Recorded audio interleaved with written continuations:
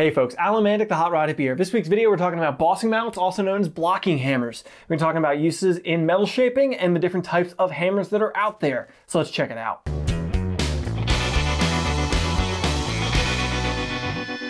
Now I have shown hammers like this in use on this channel before, but I've never specifically discussed the hammers themselves. That's what we're doing in this video here. It's not going to be an in-depth how to use a bossing mallet video. It's more going to be an introduction to what they are, the different types that are available, the ones that I personally use, and I am going to show some of how to use them and what they can do. They can both stretch and shrink metal, and we're going to demonstrate that here in this video a little bit. Now I've tried to define metal shaping terms on here before. I have a dedicated video to that you should check out at the link up here because that will help you understand what I'm talking about a little bit better. But there was a term that I didn't cover in there and that was blocking or bossing. And that's what these hammers are intended for. If you ever see somebody shaping metal and they're working on a sandbag or a stump and you see that their metal kind of looks like a bag of walnuts, it's got those lumpy points on it, that's because they're trying to rapidly, quickly form the overall rough shape that they're looking for into that metal. And that's what these hammers are for. Now, before we break down the specific hammers, there are two pieces of equipment that generally go with hammers in their uses. And that is either a leather shot bag or a shrinking stump. A leather shot bag is just a leather bag filled with either sand or in my case lead shot such as would be in a shotgun shell and you use that to rapidly shape metal and form it quickly through pretty much entirely stretching application. Then you have a stump. A stump is the opposite in that it is intended for shrinking applications. It actually allows you to gather metal up, thicken it a little bit, and form shapes via that process rather than stretching. Probably the most common thing that you're used to seeing with one of these mallets is a leather shot bag. You'll see a lot of companies selling these cheap kits where it comes with a leather shot bag and a really cheap hammer to begin as your beginner metal shaping toolkit. And honestly, that is a pretty good way to start out. It gets you a lot of the fundamentals in metal shaping right off the bat. You can learn shrinking and stretching, mostly stretching, through using one of these things pretty simply. So let's go ahead and demonstrate what I'm talking about there. Now, I'm not trying to create anything specific here. I'm just grabbing a piece of scrap metal and I'm gonna attack it. I scribed a little line on there with the face of the hammer, and I'm gonna go ahead and follow along with that, try to create kind of a curved shape into this piece of aluminum. I'm gonna start out by just striking the metal into the leather shot bag with the mallet. What I'm doing there is creating stretch points. I'm rapidly stretching that by giving that metal something to rest against that gives with the leather shot bag. The hammer forces its way into the metal, stretching specific points where it strikes. The smaller contact patch that you use to strike the metal, such as the uh, higher radius, more rounded off end of this mallet that I'm using, the more rapidly it will stretch the metal, leaving much more prominent strike points that you have to work out of there, but it does more rapidly rapidly move the metal. That can work for you and against you. If you're trying to quickly, roughly shape out a piece and you know how to control it, this can work in your favor. If you're not so controlled with it, you can overstretch an area very easily and ruin the piece that you're working with. When you're using one of these mallets, it's very, very easy to go too far too quickly, so you really want to take it in steps. Hammer out a little bit, check that you're getting the shape that you want. Hammer out a little more, continue to check that you're getting the shape you want maybe smooth it out before you continue, and so on and so on. Now, if I'm really trying to create, say, a fender shape out of this, I would end up going to either the English wheel or the planishing hammer to go ahead and smooth out between those different points. I want to go from, say, high point to high point and blend the area in between them to match up with that. Now, since this is a blocking hammer video, I'm not breaking out the English wheel or the planishing hammer. I'm just going to demonstrate the use of the hammer. So to smooth out those high points from one to the other, I'm going to flip back over my hammer and use the lower radius end of the hammer to kind of smooth between those different points. Again, striking into the shot bag, but at a lighter pressure, hitting it softer just to blend from one high to the other and kind of move the metal into a more uniform uniform shape. You can also use a hammer and dolly to smooth out the metal. It's just going to take you significantly longer than an English wheel or a planishing hammer would. So obviously that was a very brief introduction to the concept of stretching metal with a shot bag. Now the other common form of metal shaping you've probably seen around somewhere, you may even have seen it and not realized it, is stump shrinking or stump forming. Now this is a shrinking stump I made a couple years ago and honestly it wasn't a particularly good one. It works and I will demonstrate using it here. This is based off of the design that Wray Schelin at Pro Shaper Sheet Metal uses where he creates it out of say 4x4s or various chunks of easily available lumber rather than going out and finding a hardwood legitimate stump to create it out of. We will be doing a dedicated video to making a shrinking stump in the old fashioned actual stump fashion in the not too distant future. I've already got a stump set aside, ready to go. I'm just waiting for some good weather because it's gonna make a mess, so I'm gonna do it outside. Despite the fact this stump isn't what I want it to be, it can still work for what we're talking about here, so let's go ahead and use it to shrink some sheet metal here. Now you can see this piece of sheet metal that I was shaping in the shot bag. As I'm shaping it, I'm creating that stretch in there. You can see that the edges of the panel start to wrinkle up. They get this kind of potato chippy wavy pattern to them, and that's what I want to see for shrinking. I'm going to take those wrinkles and I'm going to set them onto a flat section of the stump, and this is where a regular stump versus this style of stump would probably come in more handy because they have a more uniform flat surface, but we will show that when I build that stump for you folks. What I'm gonna do is I'm gonna use the bossing mallet to strike onto the top of that wrinkle and kind of gather the metal in on itself. As it digs into the wood surface and the plastic surface on the mallet, it doesn't just flatten back out like it would if you were hammering it against metal. Instead, it actually kind of gets stuck on the wood and forces itself in on itself. You're actually gathering more of the material surrounding it and hammering it into one section, meaning that that piece of material, say if it started at 0.045 inch thick, at the end it could be 0.046 inch thick. So it's actually creating a thicker piece of material. That's what you're doing when you're shrinking. I'm gonna go along with all of these wrinkles and I'm gonna hammer in on them with the hammer here. Now, something you should note is I'm not driving down into this material as hard as I can. I'm hitting it with a glancing blow. The reason that I do that is it's easier to control because if I was striking dead down into the material, I would have a greater chance of stretching it.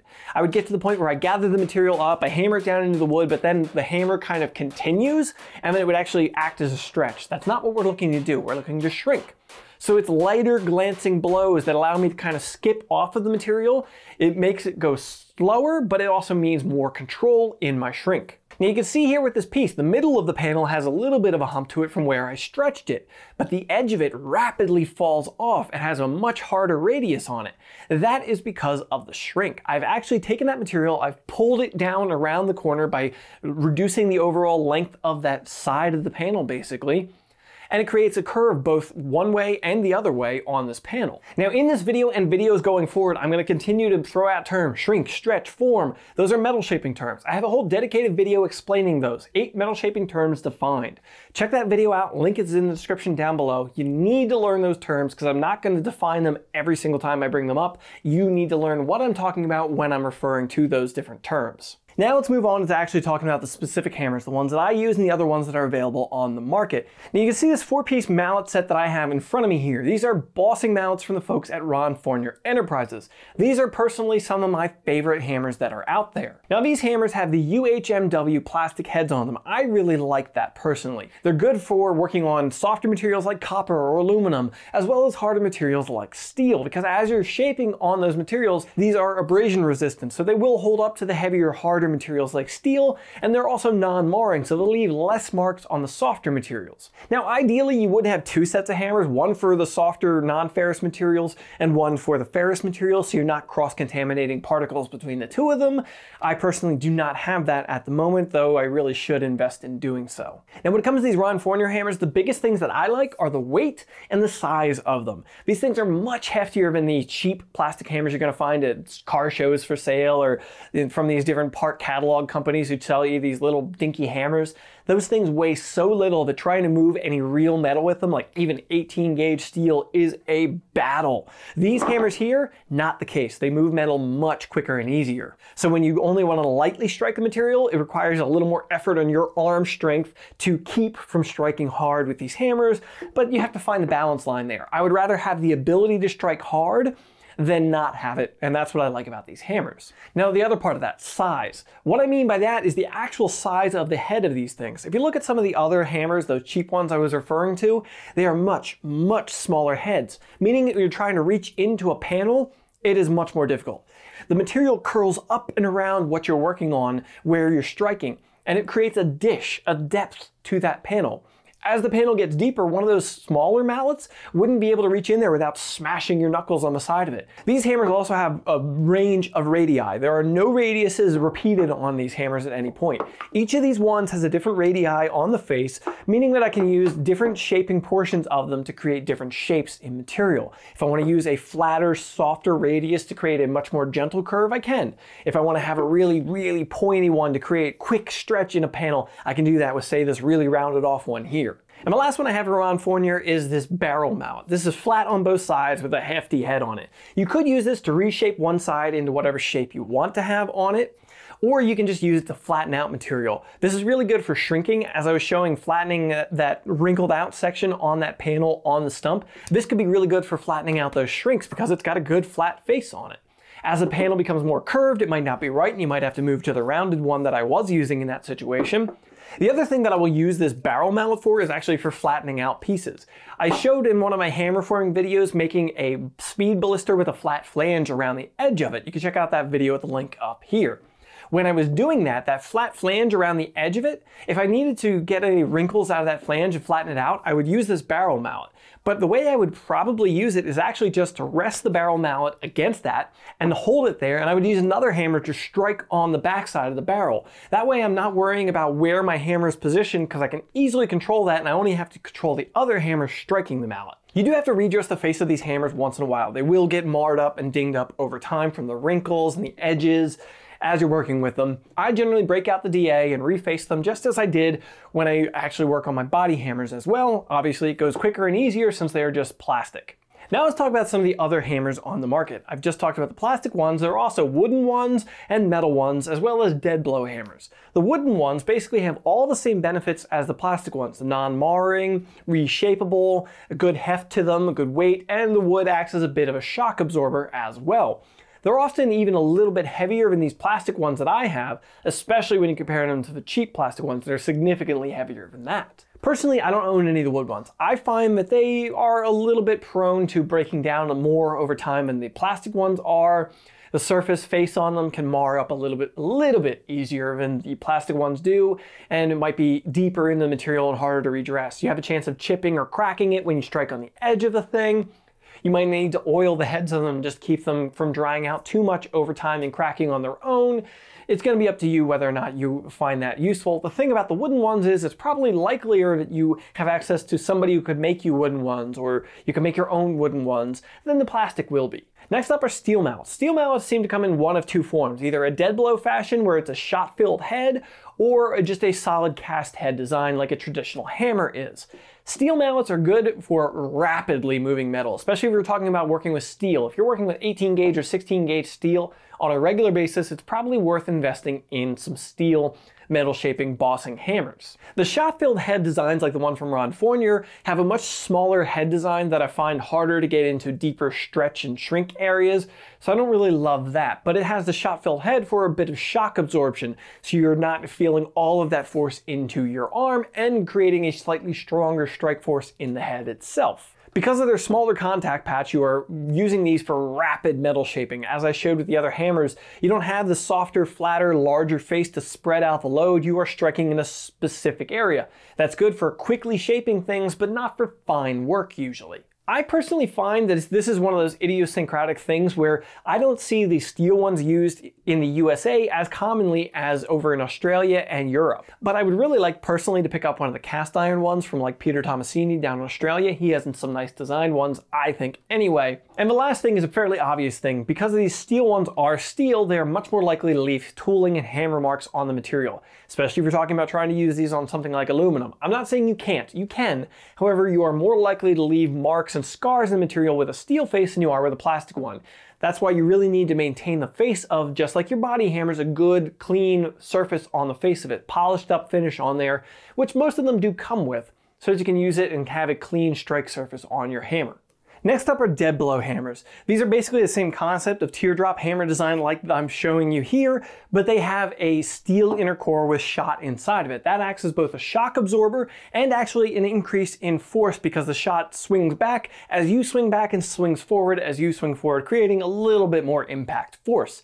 That steel inner core is wrapped in a polyurethane body to create a non-marring surface. Some people really like these and I can see the appeal. They create less fatigue on your joints. As I said earlier, these plastic ones, they start to hurt the arm pretty quickly. So the shock absorption of a dead blow one can be pretty nice to have in your rapid shaping applications.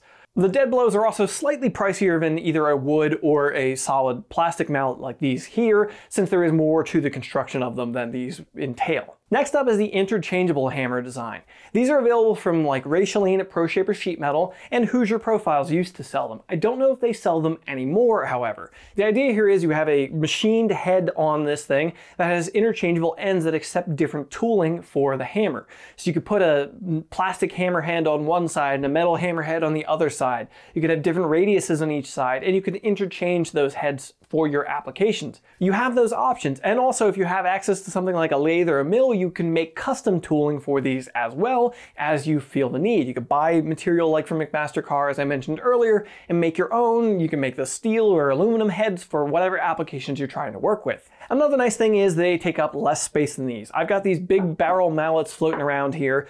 Those interchangeable head ones have a smaller head design to begin with, and then the actual interchangeable heads, while not small, they are much smaller than these hammers are, so it makes it a little easier for storing things. You could maybe put 10 freaking interchangeable ends into one drawer and just the one hammer handle to work with versus all of these hammers that I have. Along with all that, because they are machined to spec and they are not made in a mass production situation, those interchangeable hammerheads are the most expensive option that I'm showing you, at least in the respect of buying just one hammer.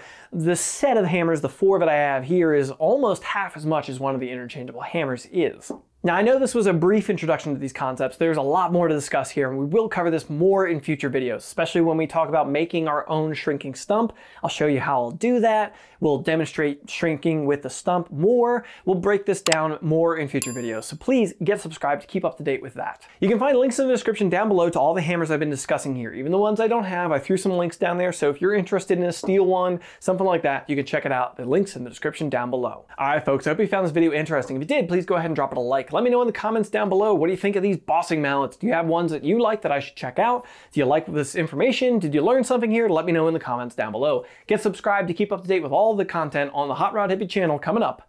Thanks for coming around, folks. Oops.